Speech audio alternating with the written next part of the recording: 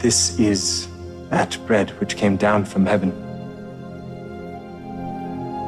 Not as your fathers did eat manna in the wilderness and are dead. He that eateth of this bread shall live forever. Ako ay nangungusap sa inyo na parang kayo ay naririto. Atin itong pag-aralan ngayong ikaapat e kasampu ng Nobyembre. Maniwala kay Iso Kristo at panghawakan ang kanyang mga ebanghelyo. Sa Mormon chapter 7, nakita natin ang muling mensahe ni Mormon na puno ng pagmamahal at habag para sa mga sumusunod na mga henerasyon. Sinabi niya, maniwala kay Iso Kristo at panghawakan ang kanyang ebanghelyo. Mahalaga ang mensaheng ito dahil sa gitna ng kaguluhan at pagkawasak ng kanyang mga tao. Alam ni Mormon na tanging mga pananampalataya kay Iso Kristo ang magdudulot ng tunay na pag-asa at kaligtasan. Ang pagpapayo niya na panghawakan ang Ebanghelyo ay isang paalaala na kailangan nating yakapin ang mga turo ni Kristo hindi lamang sa salita kundi sa gawa. Ang ibig sabihin, panghawakan ang Ebanghelyo ni Kristo ay hindi lamang basta pagkakaroon ng kaalaman tungkol sa Kanya. Ito ay ang pagsasabuhay ng Kanyang mga turo at pagsunod sa Kanyang halimbawa anuman ang ating kalagayan. Sa 1 chapter 14 verse 6, sinabi ni Jesus, Ako ang daan at ang katotohanan at ang buhay. Sino man ay hindi makalalapit sa Ama kundi sa pamamagitan ko. Pinapakita ng talatang ito na si Kristo lamang ang tanging daan patungo sa kapayapaan at pag-asa at ang Ebanghelyo niya ang ating gabay upang mananatiling malapit sa Kanya. Ang aral na ito ay napapanahon at mahalaga rin sa ating panahon kung saan maraming hamon ang dala ng mundo na maaring maglayo sa atin sa Diyos. Sa pamamagitan ng pagtutok sa Kanyang Ebanghelyo, matutulungan tayong mapanatili ang ating pananampalataya, katatagan at tunay na kagalakan.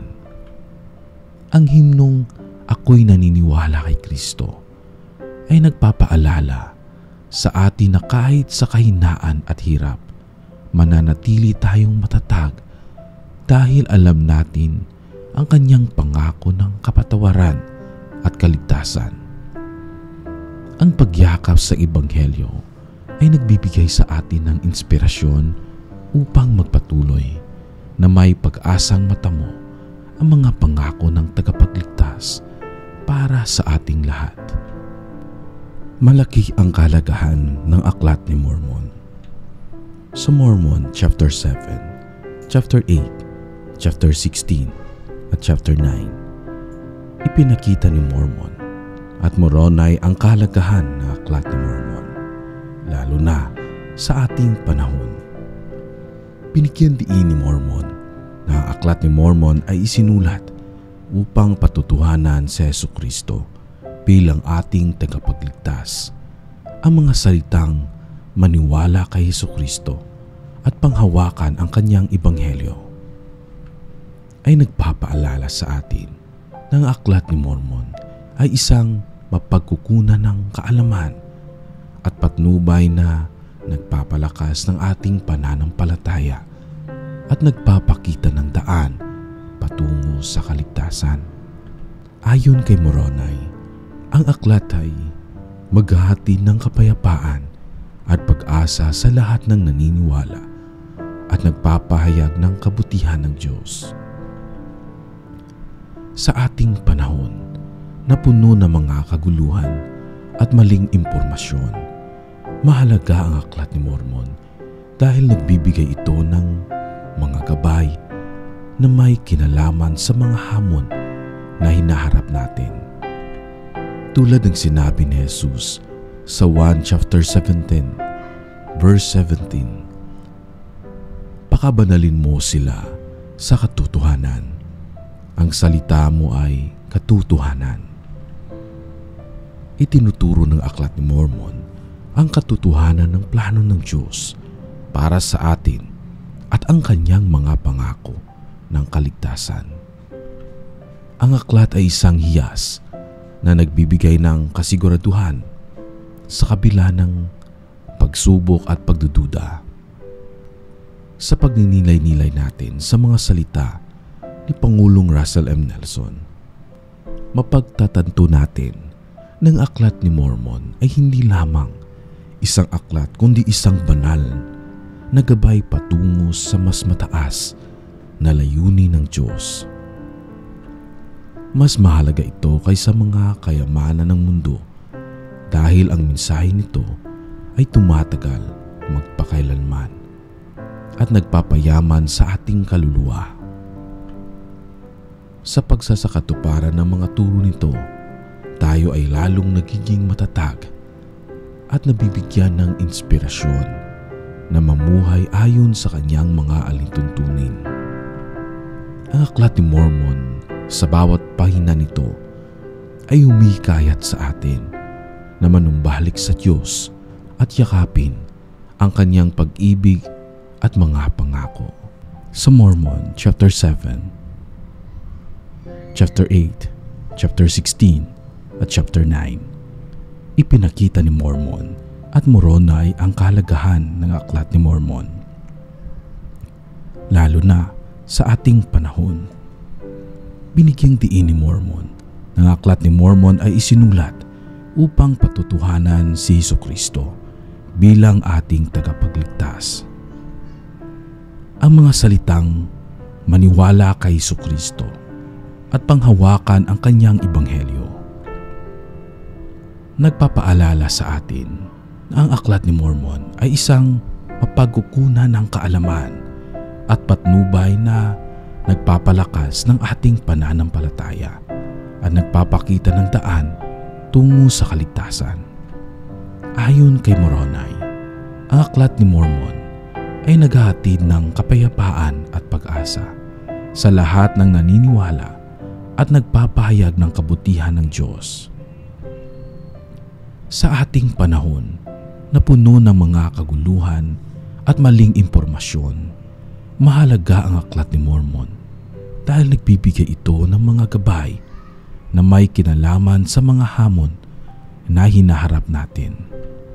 Tulad ng sinabi ni Jesus sa 1 chapter 17 verses 17 Pakabanalin mo sila sa katotohanan ang salita mo ay katotohanan.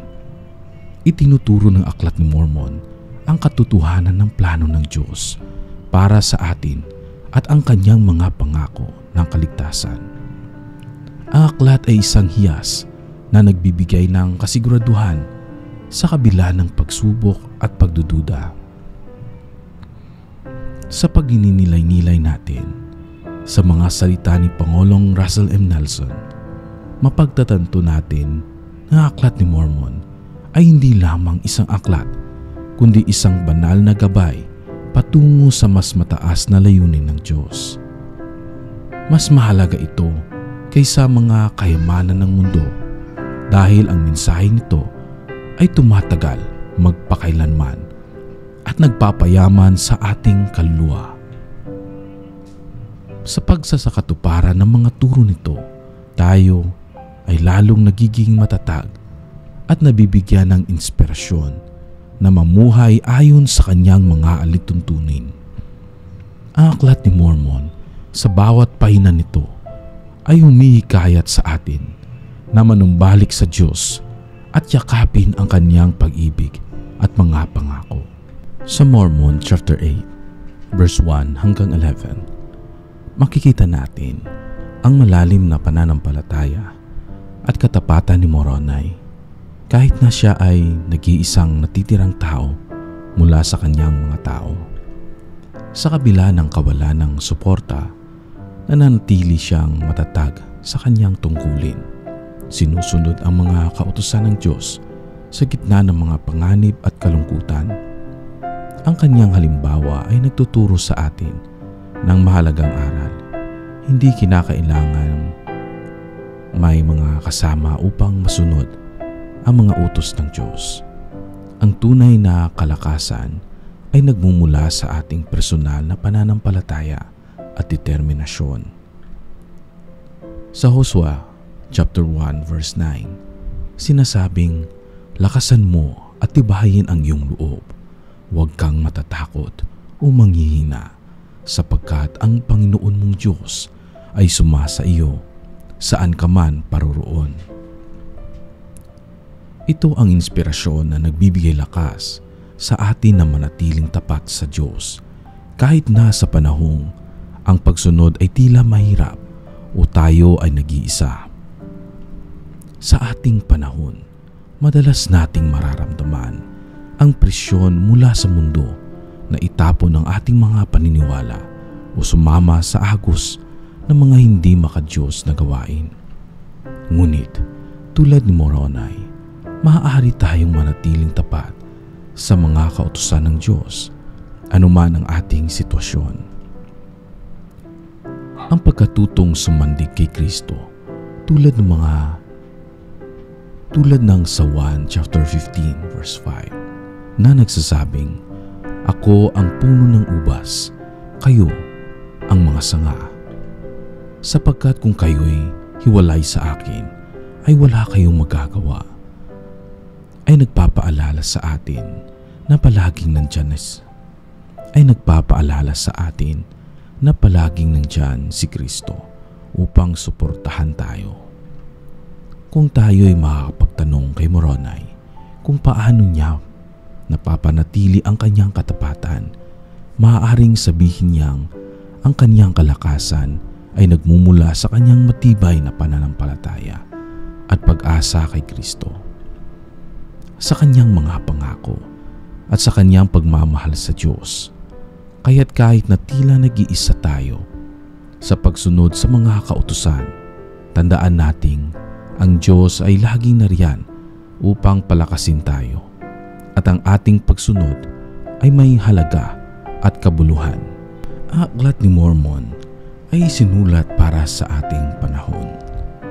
Si Mormon sa Mormon chapter 8 verses 26 hanggang 41. Ganun na din sa chapter 9 verses 1 hanggang 30. Nakita ni Moroni ang ating panahon at ang mga hamon na haharapin natin. Ang kanyang mga tanong ay naglalarawan ng mga isyong umiiral sa mundo ngayon. Ang kawalang pakundangan, ang pag-aangad sa kayamanan, at ang kawalan ng pagpapahalaga sa Espiritu Santo na ating gabay.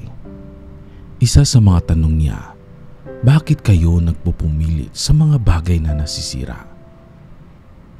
Ay nagpapaalala sa atin ng babala ni Jesus sa Matthew chapter 6 verses 19 hanggang 21. Huwag kayong mag-ipon para sa inyo ng mga kayamanan sa lupa kundi mag-ipon kayo ng kayamanan sa langit. Pinapaalahanan tayo ng aklat ni Mormon na ang tunay na kayamanan ay hindi sa material na bagay, kundi sa espiritual na pagpapala na nagdadala ng kapayapaan at kagalakan. Ang aklat ni Mormon ay mahalaga sa ating panahon dahil ito'y nagbibigay liwanag at nagbababala sa atin sa mga bitag ng mundo. Ito rin ay nagsisilbing gabay sa mga taong naghahanap ng katotohanan at kabutihan sa gitna ng kaguluhan. Sa 1 chapter 16, verse 33, sinabi ni Jesus, Sa mundo ay mayroon kayong kapighatian, ngunit laksan ninyo ang inyong loob. Aking dinaig ang mundo sa pagbabalik loob sa mga salita ni Moronay at pagninilay-nilay sa aklat ni Mormon, tayo ay mas magiging matatag at nakahandang harapin ang mga pagsubok ng ating panahon. Sa ganitong paraan, natutulungan tayo ng aklat na ito na makita ang mas mataas na layunin ng ating buhay at mananatiling nakasentro kay Kristo sa kabila ng mga tukso at hamon ng ating mundo ngayon.